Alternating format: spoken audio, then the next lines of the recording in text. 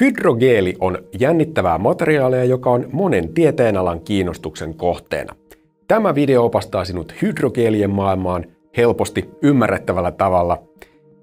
Tervetuloa Vic Science-kanavalle. Minä olen Sami Pöntinen. Mikä on hydrogeeli? Hydrogeeli on vesipitoisten polymeerien muodostama verkosto, joka kykenee sitomaan suuria määriä vettä itseensä. Hydrogeelit ovat erittäin joustavia ja pehmeitä materiaaleja, joiden ominaisuudet ovat samankaltaisia kuin biologisissa kudoksissa.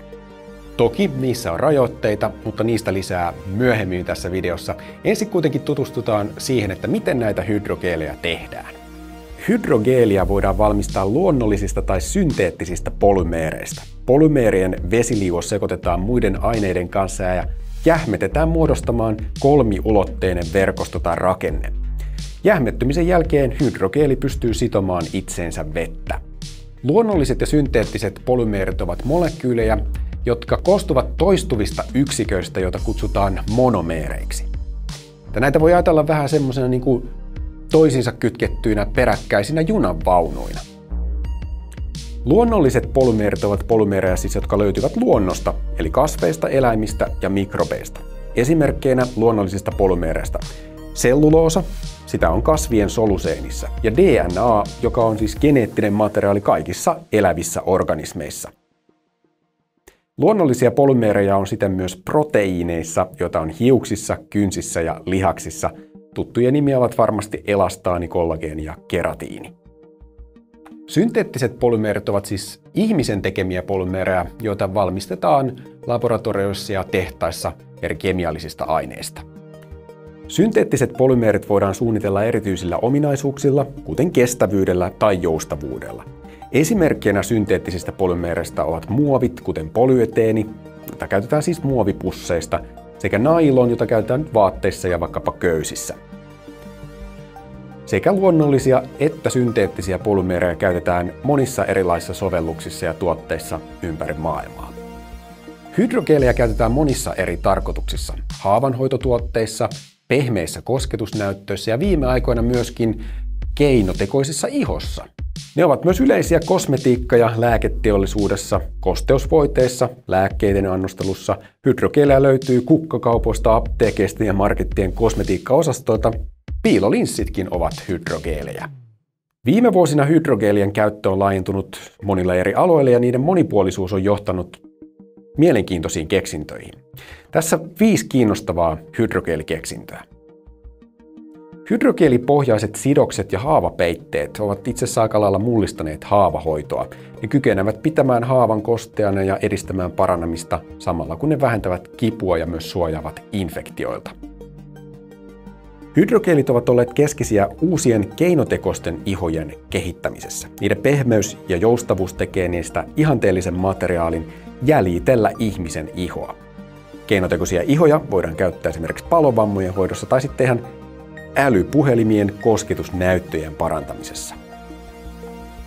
Hydrogeelit on osoittautunut hyödyllisiksi myöskin lääkkeiden annostelussa. Ne voivat vapauttaa kontrolloidusti lääkkeitä elimistöön pitkän aikavälin kuluessa, ja tämä voi parantaa hoidon tehokkuutta ja myöskin vähentää sivuvaikutuksia. Hydrogeelit voivat myös auttaa poistamaan epäpuhtauksia vedestä, kuten öljyä, raskasmetalleja ja myöskin mikromuoveja.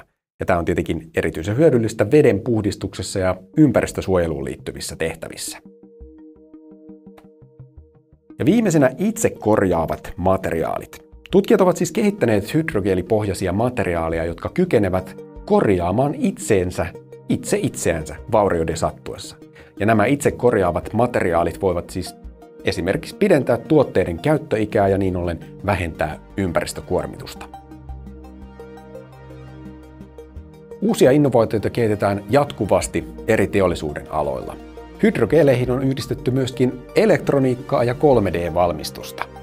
Ohjautuvia robotteja lainausmerkeissä hydrogeelistä on saatu aikaiseksi muun muassa sähkön ja valon avulla. Mielenkiintoisia sovelluksia mahdollistaa muun muassa älykäs hydrogeeli, jonka koko muuttuu lämpötilan muuttuessa. Käytännössä esimerkiksi laservalolla ohjattuna. Hydrogeelit tarjoaa monia etuja, kuten siis ympäristöystävällisyyttä ja erinomaista joustavuutta. Kuitenkin niiden mekaaninen kestävyys voi olla vähän rajallinen, ja valmistuskustannukset voivat olla joissakin sovelluksissa hyvinkin korkeat. Hydrogeelin hinta voi vaihdella huomattavasti sen koostumuksen, valmistusmenetelmän ja sovelluksen mukaan. Yleisesti ottaen luonnolliset hydrogeelit, kuten selluloosapohjaiset, ovat yleensä halvempia kuin synteettiset. Kuitenkin hinta voi vaihdella myös hydrogeelin laadun, puhtauden ja toiminnallisten ominaisuuksien mukaan.